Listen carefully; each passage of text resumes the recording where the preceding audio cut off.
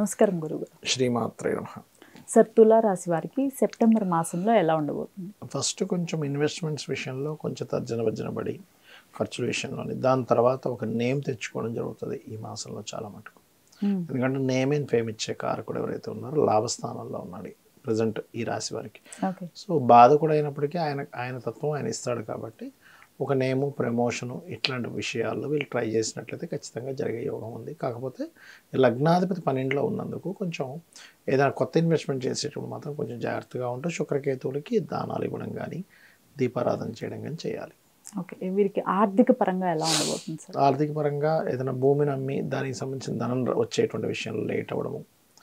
లేకపోతే ఏదైనా ఒక ప్రోడక్ట్ ఇచ్చారు అవతల వాళ్ళకి వాళ్ళు ఇవ్వాల్సిన డబ్బులు కొంచెం లేట్ చేయడం చేస్తూ ఉంటారు. ఇది పోవాలి అంటే కాళికా అమ్మవారి ఆరాధన చేయడము అలాగే శని కేతు శుక్ర గ్రహాల దగ్గర దీపారాధన చేసినట్లయితే రావాల్సిన డబ్బులు లేట్గా కాకుండా త్వరగా వస్తాయి. ఓకే. వీరికి ప్రాపర్టీస్ తీసుకునే విషయంలో అలానే అమ్మే విషయంలో ఎడ్యుకేషన్ పరంగా ఎలా ఉండబోతుంది సార్? ఒకటి ఏంటంటానంటే వీళ్ళకి ఇప్పుడు నడుస్తున్న టైం ఏదైతే ఉందో ప్లేస్ ఆఫ్ చేంజ్ ఉంది ఖచ్చితంగా. ప్లేస్ మారిపోతారు ప్రాపర్టీ పరంగా. ఇంకో ప్రాపర్టీ ఏదో కొనుక్కొని అటు మారడం ఇట్లాంటివి చూపిస్తున్నాయి బలంగా జాత చక్రంలో. అయితే ఇక్కడ ఎడ్యుకేషన్ విషయం దగ్గరికి వస్తే కనుక క్రియేటివ్ రిలేటెడ్ ఎక్కువగా నేర్చుకోవడానికి ఇష్టపడతారు. అయితే ఈ ఎడ్యుకేషన్ రిలేటెడ్ సంబంధించిన విషయంలో క్రియేటివ్ సైడ్ వెళ్ళాలనుకునేవారు. నైన్టీన్త్ తర్వాత వెళ్తే మంచిది. ఎందుకంటే శుక్రుడు లగ్నంలో ఉన్నప్పుడు పర్టికులర్గా క్రియేటివ్ ఫీల్డ్కి సంబంధించిన కెరియర్ తయారు చేసుకుందాం అనుకునేటువంటి this is the right time అంటే నైన్టీన్త్ తర్వాత.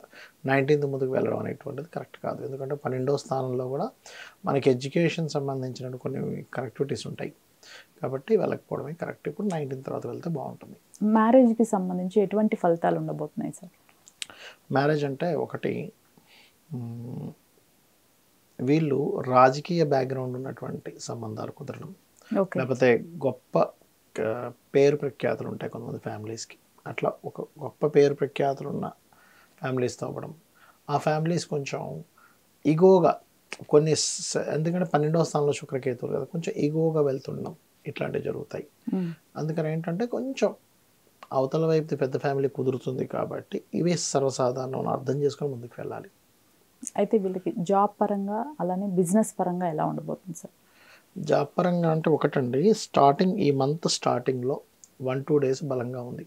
ఎందుకంటే టెన్త్ హౌస్లోనే చంద్రుడు ఉంటున్నాడు. ఓకే. ఇక బిజినెస్ అంటే పర్టికులర్గా ఆరోగ్యము న్యూట్రిషన్స్ ఉంటారు మెడికల్ రంగాల్లో వాళ్ళు ఉంటారు డాక్టర్స్ ఉంటారు. వీళ్ళకి వాళ్ళు చేసే బిజినెస్ పరంగా బాగుందని చెప్పుకోవచ్చు.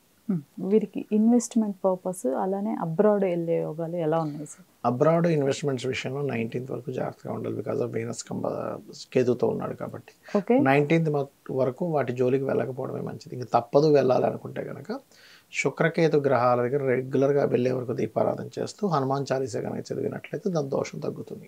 ఓకే ఈ రాశి వారు సార్ ముఖ్యంగా తీసుకోవాల్సిన జాగ్రత్తలు పరిహారాలు ఏంటి సార్ పరిహారాలు అంటే ఒకటే అమ్మా. ఇక్కడ ఇన్వెస్ట్మెంట్స్ విషయం ఒకటి అబ్రాడ్కి వెళ్ళే విషయం ఒకటి. ఈ రెండు పర్టికులర్గా జాగ్రత్త వహించాలి. పరిహారాలు అంటే తీపి చపాతీలు శుక్రవారం పూట ప్లస్ మంగళవారం పూట గ్రాసము గోగు తినిపించడము బెల్లము తినిపించడం చేసినట్లయితే అన్ని విధాలు బాగుంటుంది. అయితే కొంతమందికి వారి రాసులు ఏంటి అనేది తెలియదు గోచారం ప్రకారం వారు వారికి ఎలా ఉండబోతుంది అంటారు ఫస్ట్ ఆఫ్ ఆల్ అమ్మ మనకి అంటే మనకి మన వీడియో ఇంకా మనకి శ్రావణ మాసంలోనే రిలీజ్ అవుతుంది కాబట్టి చెప్తున్నాను. ఇప్పుడు ఎట్లాగో శ్రావణ శుక్రవారాలు వస్తున్నాయి. శుక్రవారాలు చేసేటప్పుడు ఫస్ట్ ఆఫ్ ఆల్ శ్రావణ మాసంలో మనం అమ్మవారి పూజ చేసేటప్పుడు అమ్మవారి అష్టోత్తరాలకు అర్థం తెలుసుకోవాలి ఎప్పుడు కూడా. ఆ అర్థం తెలుసుకొని చేస్తారే అమ్మవారు ఇంత గొప్పదాని అర్థం అవుతుంటుంది సో అమ్మవారు ఏంటంటే లక్ష్మి. అన్ని లక్ష్ములు. సంతాన లక్ష్మి సౌభాగ్య లక్ష్మి అన్ని. శ్రావణ మాసం ఎందుకు ఏర్పడుతుంది మనకి సర్వసాధారణంగా? శ్రవణ నక్షత్రంలో పౌర్ణమి జరుగుతుంది కాబట్టి శ్రావణ మాసం. ఆ శ్రవణ నక్షత్రం ఎక్కడ ఉంటుంది? కర్మకారక రాశి అయినటువంటి మకర రాశిలో ఉంటుంది. అంటే ఈ శ్రావణ మాసంలో ఎవరైనా సరే నాకు జాతకం తెలియదండి. డేటు టైము ప్లేసు వాస్తు తెలియదు జ్యోతిష్యం తెలియదు నా పరిస్థితి మాత్రం బాగోలేదు అనుకునేటువంటి వారు. ఈ మాసంలో గనక అమ్మవారి పేరు మీద అమ్మవారికి వెలిగిస్తున్నాను అనుకుంటూ నువ్వుల నూనె దీపం వెలిగించడము గోవులకి బెల్లం తినిపించడము శనివారాలు శుక్రవారాలు తీపి చపాతీలు ఒక మూడు చపాతీలు తేనె పూసి తినిపించినట్లయితే కూడా చాలా మటుకు బాగుంటుంది. ఈ రాసులు ఏంటి అని ఎవరికైతే తెలియదో వారు ఎటువంటి జాగ్రత్తలు తీసుకోవాలి? వారికి సెప్టెంబర్ మాసం ఎలా ఉండబోతుంది గురుగారు తప్పకుండా అమ్మ. ఇప్పుడు రాసులు తెలియని వాళ్ళని జనరల్గా జనరల్ మేషన్ నుంచి చూసుకుంటారు. రాసు తెలియని వాళ్ళు. ఒకటి. ఇంకోటి మనకి ఇప్పుడు క్రోధినామ సంవత్సరం మనందరికీ తెలిసిన విషయం. ఎన్ని గొడవలు జరుగుతున్నాయో బయట. బీభత్సం. మనం ఉగాది చెప్పుకున్నప్పుడే చెప్పుకున్నాం. ఏమంటే మొత్తం గందరగోళంగా ఉంటుంది పరిస్థితి ఈ సంవత్సరం అంతా. అది యాజ్ ఇట్ ఈజ్ అట్లాగే నడుస్తుంది పరిస్థితి. అయితే నేను అనేది ఏంటంటే జనరల్గా మనుషులందరూ కూడా కొంచెం వెంటనే రియాక్ట్ అయ్యి గొడవల్లోకి వెళ్ళకూడదు. దానికి ఫస్ట్ ఆఫ్ ఆల్ మన మనసు ప్రశాంతంగా ఉండాలి వెళ్ళకుండా ఉండాలంటే. మనసు కనుక ఆధీనంలో ఉంటే మనం వెళ్ళమల. దానికి మనం పర్టికులర్గా ఓం అష్టమి చంద్ర విభ్రాజ అలికస్థల శోభితాయ నమః మంత్రం లేదా ఓం మనస్వినియే నమః అనే మంత్రం చేసుకోవాలి. దీంతోపాటు కొన్ని జనరల్గా కొన్ని జాగ్రత్తలు తీసుకోవాలి ఈ సంవత్సరం అంటే ఈ నెలలో కూడా. ఎందుకంటే ఇక్కడ మీకు కుజుడు మిథున రాశిలో సంచరిస్తున్నాడు. నెక్స్ట్ ఇంకా కర్కాటకానికి వెళ్తాడు. ఇదే ఉంది అసలు. కర్కాటకంలోకి వెళ్ళబోతున్నాడు ఇంకొక forty five days fifty days తర్వాత. మనం దాని సపరేట్ ఎపిసోడ్ చేద్దాం ఎప్పుడైనా మనం. కర్కాటకంలోకి వెళ్ళినప్పుడు ఇంకా దారుణంగా ఉంటుంది పరిస్థితి. ఇప్పుడు చూసే ఇవన్నీ గొడవలు పెద్ద ఏదో అదేదో- అదేదో డైలాగ్ అంటారు తుమ్రీలు అంటారు చూసారా? అలాంటిది ఇదంతా కూడా జోక్గా అంటుంటారు చూసారా? ఇవన్నీ చిన్న చిన్నవే. కర్కాటక రాశిలో ఉంటాడు ఒక నెల రోజులు ఉంటాడు మళ్ళీ వక్రిస్తాడు మళ్ళీ వస్తాడు. సో ఏదైనా వచ్చే ఉగాది వరకు కూడా ఈ కర్కాటక రాశిలో సంచారం మళ్ళీ వెనక్కి వెళ్ళడం మళ్ళీ కర్కాటక రాశిలోకి ఉంది కాబట్టి నేను చెప్పేది ఒకటే అందరికీ కూడా. కాస్త వాహనాల మీద వెళ్ళేటప్పుడు స్లోగా వెళ్ళండి. కర్కాటకం జలరాశి కాబట్టి అందరికీ చెప్పేది ఒకటే.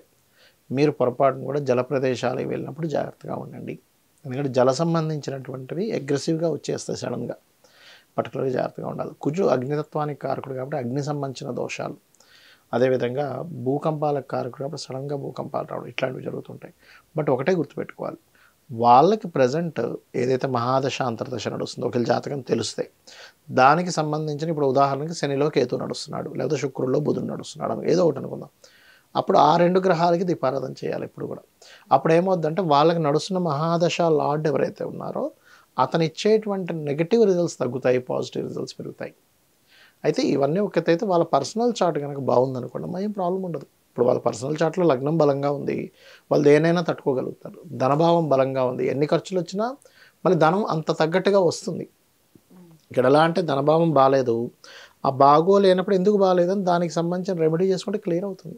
అలాగే మీరు చేసే ప్రయత్నం కావచ్చు గృహయోగం కావచ్చు పిల్లలు చదవకపోవడం కావచ్చు లేకపోతే సంతానం లేదని లేకపోతే వివాహం అవ్వట్లేదని లేదా విదేశాలకు వెళ్ళలేకపోతున్నాను దాని మీద అన్నిటి మీద ఒక్కొక్క గ్రహం ఉంటుందన్నమాట.